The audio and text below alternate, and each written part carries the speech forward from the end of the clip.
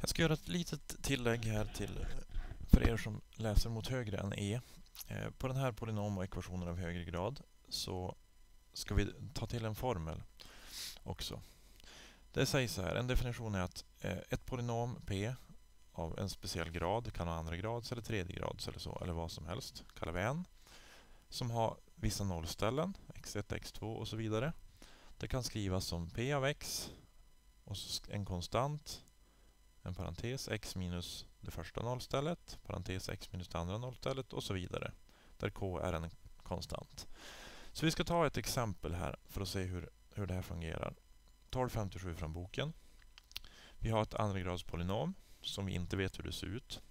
Men vi vet att för det så gäller att funktionsvärdet när x är minus 1 det är samma som funktionsvärdet när x är 3 och det är lika med 0 då. Det vill säga vi har nollställena när x är minus 1 och x är 3.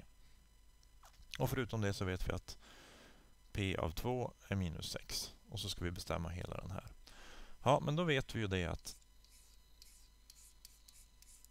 det här att vi har ett k och så sen har vi x minus x1 och x minus x2. Eftersom det är ett andra grad så har vi bara två stycken sådana x1 och x2 vet vi. Det är minus 1 och 3. Så vi har alltså k x minus minus 1. Det är alltså x plus 1. Och x minus 3. Det vet vi, att det ser ut så. Sen vet vi också att när p är 2 så är funktionsvärdet minus 6. Det vill säga att vi kan sätta in 2 på x, för i parentesen står ju 2. För att få fram k, för k vet vi inte. Och då ska funktionsvärdet bli minus 6. Alltså har vi att om p av 2 är minus 6. Då har vi alltså att minus 6 är lika med k parentes. x hade vi alltså, det var 2 plus 1 och 2 minus 3. Vi har att minus 6 är lika med k gånger 2 plus 1 är 3 gånger minus 1. Fortsätter vi här uppe. Vi har att minus 6 är lika med k gånger minus 3.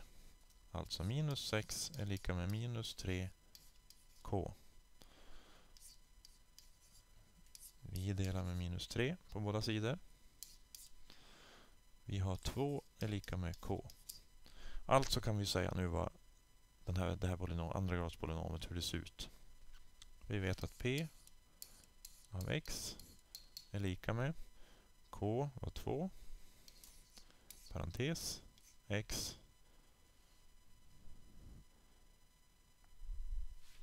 minus nej plus 1 och x minus 3.